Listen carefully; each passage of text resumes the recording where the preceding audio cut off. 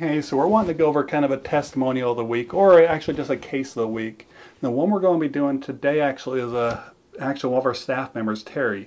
So Terri had had a trigger finger that she had had for years, and they had been told that the only thing that she could do was to have surgery to try to make it so actually that finger came back from here where it gets stuck to where it could start to extend. And so we actually started to work on her with actually the Piezo wave to where it starts to break up a lot of the scar tissue and be able to do what it needs to again.